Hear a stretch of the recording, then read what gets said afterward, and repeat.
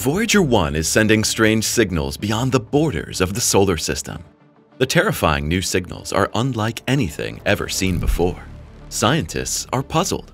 Are these signals a hidden clue to unexplored mysteries in interstellar space, or is the probe just malfunctioning?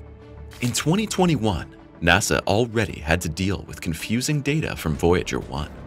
The data sent was puzzling, but it was supposedly a defect and scientists brought the probe, which was already well over 20 billion kilometers away at the time, back into line.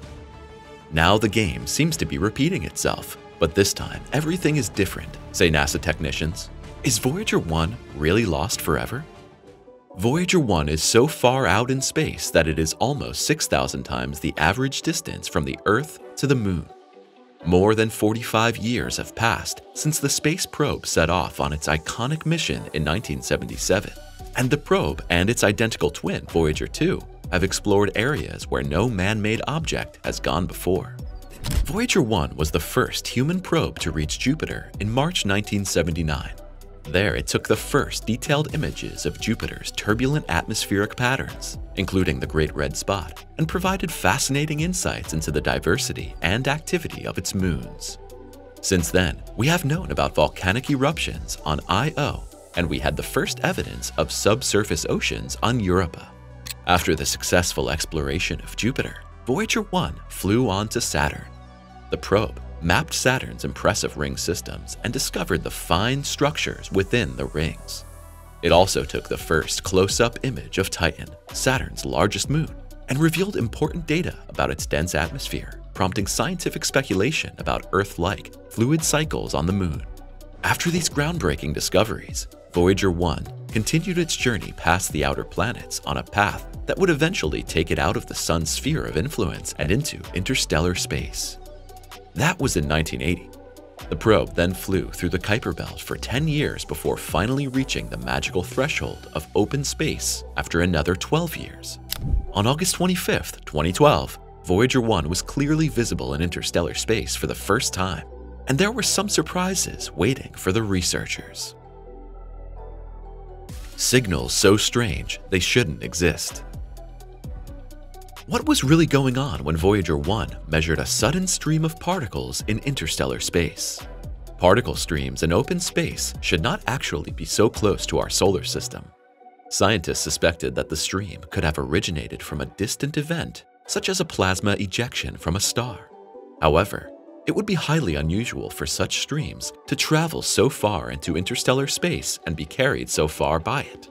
You must realize that the closest star to the location where the mysterious stream was measured is more than 4 light years or 37 trillion 842 billion 921 million 890,333 kilometers away. A plasma ejection stream at this distance should have long since dispersed within the emptiness of the universe. Many scientists therefore doubt the theory and concede that we could be dealing with a mysterious unknown force. Some daring scientists have even speculated that the particle stream could indicate activity from extraterrestrial life forms. Surprisingly, Voyager 1 showed that the overall particle distribution in space is much denser than previously thought. This may not sound very exciting at first, but in astrophysics, just a few particles can change our entire picture of the universe. One of the most striking features of interstellar space is the significant increase in cosmic rays. As expected, Voyager 1 recorded a significant increase in the intensity of cosmic rays. This observation provided important information about the composition and dynamics of space beyond our heliosphere for the very first time in human history. The data from Voyager 1 also indicate that the interstellar magnetic field is stronger and has a slightly different orientation than expected. These findings are not only forcing scientists to rethink their models of the interstellar medium and the interaction between the solar wind and the interstellar medium, we may have to rethink the entire math of our galaxy. The magnetic fields in the interstellar medium play a crucial role in the dynamics of galaxy assembly and star formation.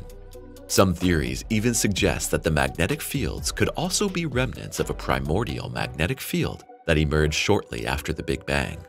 These original fields could therefore still be magically effective primordial structures that carry the developmental processes of the entire universe within them and are therefore messengers of cosmic history.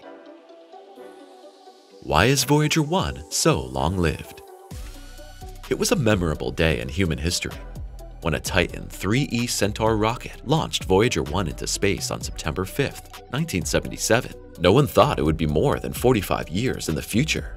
At the time, the scientists wanted to take advantage of a unique conjunction of the outer planets, which only occurs every 176 years, to send the Voyager probes to the then still largely unknown planets. The first target was the gas giant Jupiter. Voyager 1 arrived there a little earlier, although it was launched later than its sister. This was because Voyager 1 had taken the more direct, but also more dangerous course through the asteroid belt between Mars and Jupiter, while Voyager 2 was accelerated along slightly different orbits. Both Voyagers also stopped by at Saturn, after which they parted ways. While Voyager 1 set a direct course for the end of our solar system, Voyager 2 delivered the very first images of the planets Uranus and Neptune.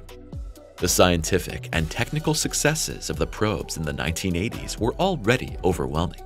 The fact that Voyager 1 is still functioning and transmitting scientific data well over 45 years after its launch is nothing short of a miracle. The Voyager mission was an open-ended adventure.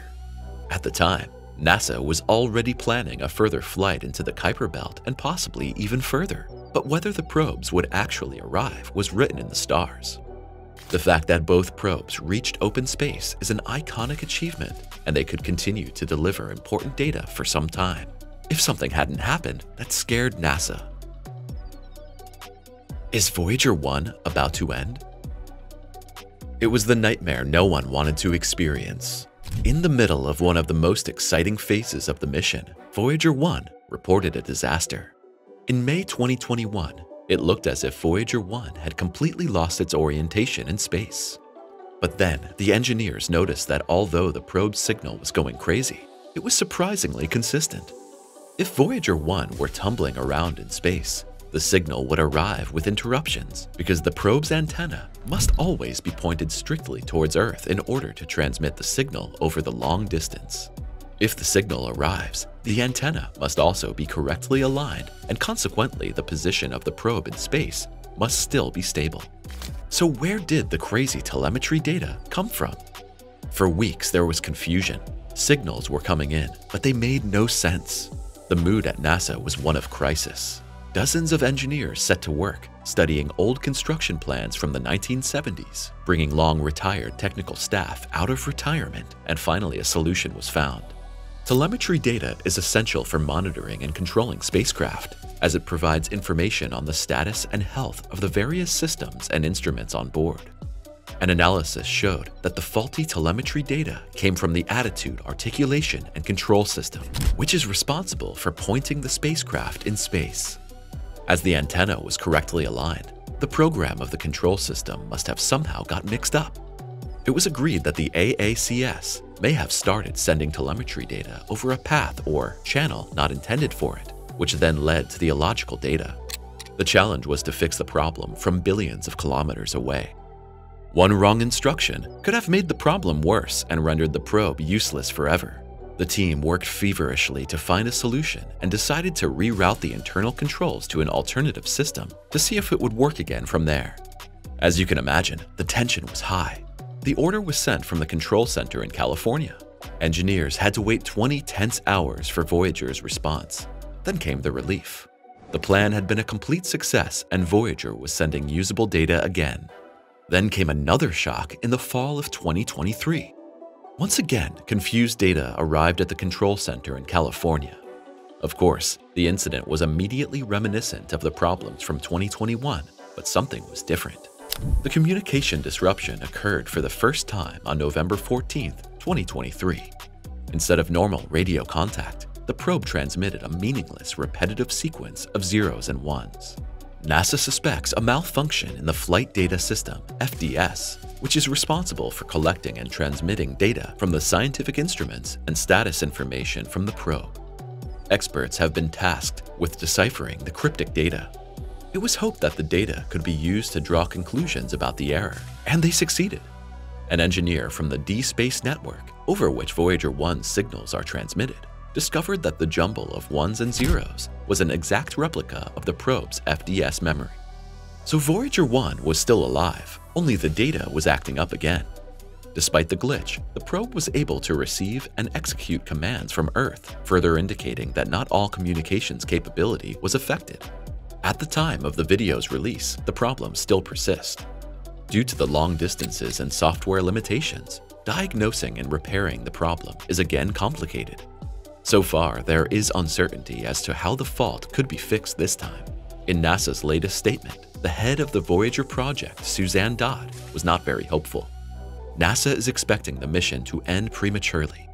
NASA is currently gloomy about the chances of restoring the probe's ability to communicate, but Suzanne Dodd emphasized that the team has not yet given up completely and will try other solutions. They are currently trying to put the spacecraft into different operating modes to locate the damaged memory. Some of these operating modes have not been used since the flybys of Jupiter and Saturn over 40 years ago, which makes the endeavor risky. Click subscribe now and be part of every new video.